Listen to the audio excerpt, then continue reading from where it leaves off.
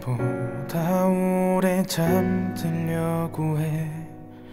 스치는 겨울바람에 문득 너의 생각이 날 테니까.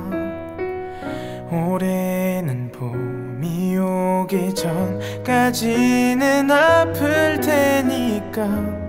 내가 견딜 수 없으니까. 보다 깊이 잠들길 기도해요.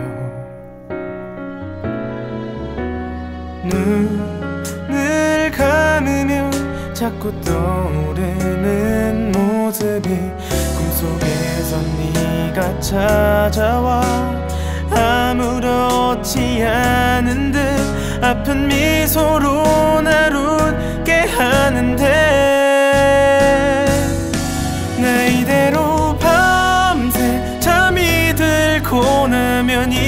잊을까? 나 이렇게 하루 미워할수록 더 생각날 텐데 나 이런데도 괜찮을까요? 계절이 지나도 다 나는 상처들은 겨울잠에 빠지고 나면 나아질 수 있나요